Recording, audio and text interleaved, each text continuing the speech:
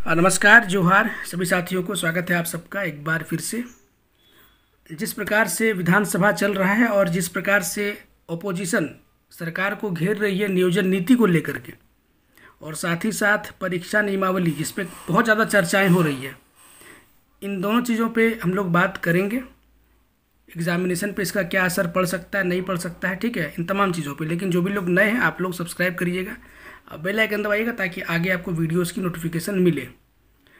परीक्षा नियमावली की अगर बात हम लोग करें तो बहुत सारे यूट्यूब चैनल्स अपोजिशन पार्टी बड़े बड़े कोचिंग संचालक, ये सब अपने अपने तरीके से अपनी अपनी बात रख रहे हैं। ठीक है, और इन सब का कुछ ना कुछ स्वार्थ है सेल्फ इंटरेस्ट है, और उसी के तहत ये लोग अपनी बात रख रहे हैं, सरकार को क्रिटिसाइज़ कर रहे हैं। और इस ग्रुप में उभरते हुए नेता लोग भी शामिल हैं। ठीक है ना? ये सब मिल करके परीक्षा नियमावली पे बहुत ज़्यादा छाती पीट रहे हैं। अरे, क्या कर दिया, ये कर दिया, वो कर दिया। लेकिन जितने भी छात्र हैं, आप लोग एक बात ध्यान दीजिए, बहुत ज़्यादा से परेशान होने वाली कोई बात नहीं है।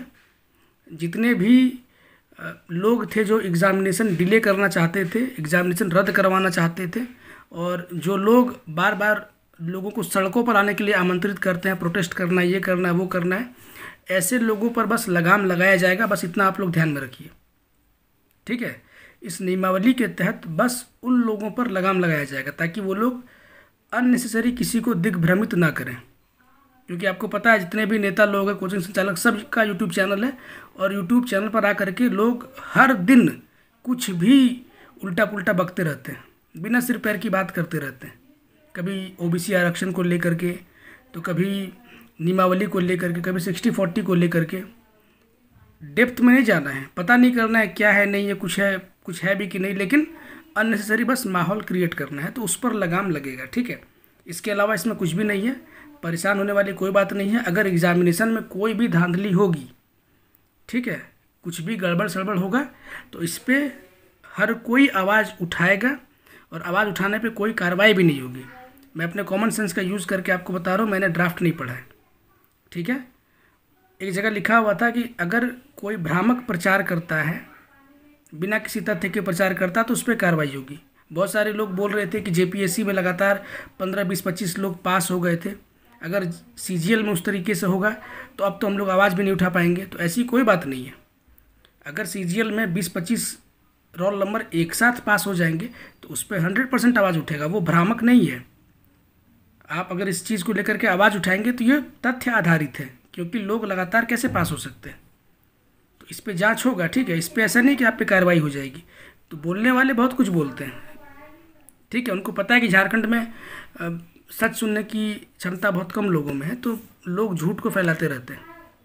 तो परेशान होने वाली बात नहीं है इस नियमावली को लेकर के। कुछ धांधली वगैरह होगा, कुछ भी गड़बड़ सड़बड़ होगा तो हंड्रेड परसेंट उस पर आवाज़ उठाई जाएगी। अब दूसरी बात करते हैं।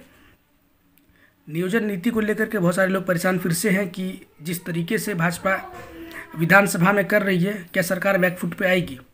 तो ऐसा कभी नहीं होता है, सरकार बैकफुट पे नहीं आती है इन छोटे मोटे धरने, प्रदर्शन और ड्रामा से कोई भी सरकार बैकफुट पे नहीं आती है। और किसी भी प्रकार का कन्फ्यूज़न मन में नहीं रखना है। नियोजन नीति को लेकर के पॉलिटिक्स अभी आके लगातार होते रहेगा, लेकिन सरकार ने अपना स्टैंड बिल्कुल क्लियर कर दिया है। एग्जामिनेशन हो रहा है, उसको लेकर के नई नई नियमावली बन रही है।